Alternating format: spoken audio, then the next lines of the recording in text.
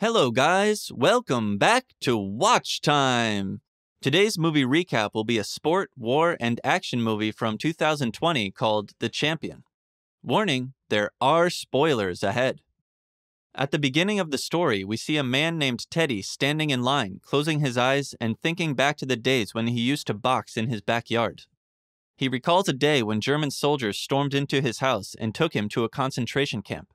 In the camp, Teddy and the other prisoners are treated terribly, forced to do hard labor all day without proper sleeping conditions. They are all squeezed into one room and only get a thin soup to eat, which isn't enough to sustain them through the day's work. As a result, many prisoners catch fatal diseases and die one after another, including teenagers.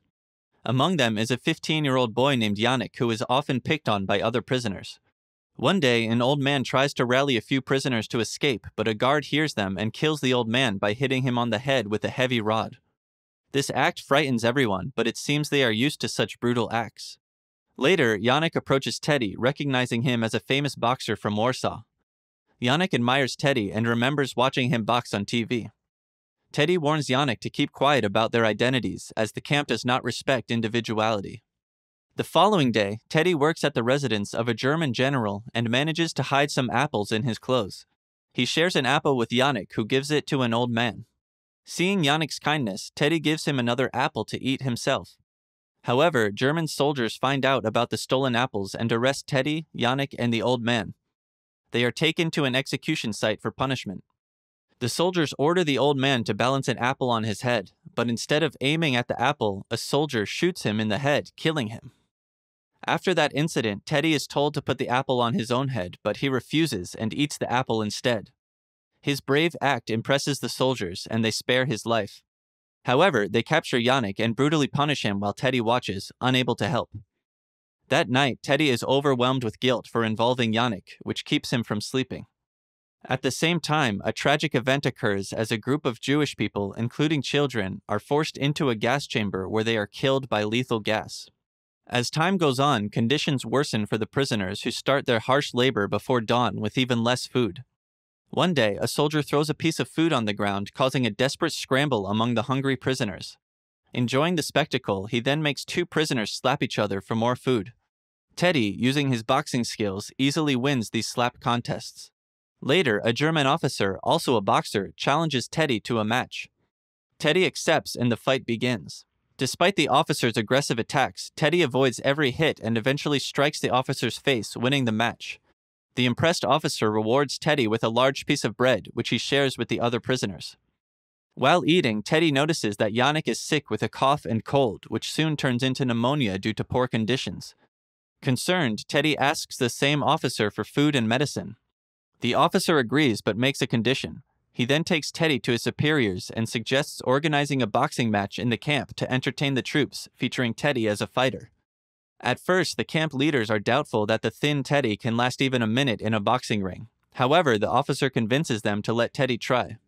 The movie then moves to the first boxing match in the camp, where Teddy faces a skilled opponent.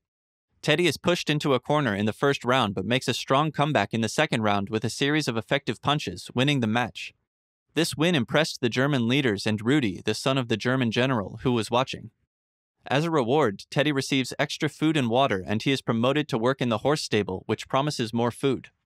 That evening, after getting treatment for his injuries at the camp infirmary, Teddy asks the nurse for pneumonia medicine. The nurse, who is kinder than the guards, gives him various medications. Teddy then goes to the sick ward where many workers are in critical condition, gives pneumonia medicine to Yannick, and leaves the rest of the medications with a healthcare worker there. Now working at the horse stable, Teddy has more free time, which he uses to keep practicing his boxing. After a few weeks, Yannick recovers, and Teddy arranges for him to work in the infirmary. There, Yannick meets a beautiful girl named Helsia, and they quickly become friends. As time goes on, Teddy gets into better shape because of the improved food and rest, and Yannick's situation also gets better. However, the rest of the prisoners continue to suffer terribly, treated inhumanely, and subjected to daily executions. The sick ward still lacks proper medicine and care, leading to many deaths. Despite these harsh conditions, Teddy does his best to help his fellow prisoners. Teddy wins all the boxing matches he participates in and continues to share the extra food he receives with other prisoners. He also secretly brings important medicines from the infirmary to the sick ward to help the suffering inmates. One day, the German soldiers bring in a tough opponent from another prison to challenge Teddy, hoping he would lose. But Teddy's superior agility and boxing skills ensure his victory, and he is rewarded with more food, which he again shares with his fellow inmates. In the next scene, Rudy, the son of the German general, falls ill with typhoid and tragically dies, leaving the general heartbroken. The next morning, Teddy sees lifeless bodies being carried out of the camp and he realizes they are the men he had defeated in the ring. Overcome with guilt, he decides to stop fighting. However, Yannick persuades him to continue, saying he is the only hope for the prisoners. That night, a tragic event unfolds as a group of Jewish prisoners, including Helsia, who is caught stealing food, are forced into a gas chamber. When a soldier demands that Helsia strip, she grabs his gun and shoots him, but in retaliation, other soldiers shoot her dead, and other prisoners are also killed in the gunfire. Yannick, who sees this from afar, is devastated by Helsia's death. Later, it is discovered that the German general has been injured by a gunshot to his hand and is taken to the infirmary. There, he finds out that Yannick was working there without proper authorization and subjects him to harsh treatment. When Teddy learns about Yannick's situation, he begs the camp officials to release him, but they refuse. Determined to free Yannick, Teddy offers to fight the best German boxer, Hammerschlag, in exchange for Yannick's release. He also warns that he will stop fighting altogether if they refuse. After some thought, the officials agree to the deal but secretly plan to make sure Teddy loses the match. The fight is scheduled for the evening, and both fighters prepare to face each other. As the match begins, Teddy finds it tough to handle the strong attacks from Hammerschlag. He's easily overpowered in the first round, but in the second round, he manages to land some good punches on Hammerschlag. Seeing their top boxer getting hit, the officials quickly signal for a break. During this break, they give Teddy a mysterious drink which soon makes him dizzy and blurs his vision. With this disadvantage, Hammerschlag hits Teddy hard, knocking him down, and the officials quickly declare Hammerschlag the winner. After the match, Teddy tries to continue fighting, but the soldiers bring in an injured Yannick and throw him in front of Teddy. The officials order Teddy to fight Yannick or else they'll shoot him. Teddy hesitates, not wanting to hurt his friend, and during his hesitation, a soldier shoots and kills Yannick. Teddy is then tied to a pole and left hanging there all night. The next morning, a soldier unties Teddy and tells him to get back to work. Instead, Teddy goes to the cremation area to look for Yannick's remains, but only finds a toy that belonged to him. Holding the toy, Teddy mourns, then resolves to defeat Hammerschlag. He interrupts a match and challenges Hammerschlag to a duel, which he accepts. In the audience, a warden from another prison recognizes Teddy from an earlier encounter in Warsaw and bets on his victory. The match starts with Teddy absorbing many punches without fighting back. Despite his bloody face, Teddy smiles and waits for the right moment to strike. He then delivers powerful punches that knock Hammerschlag to the ground, winning the match.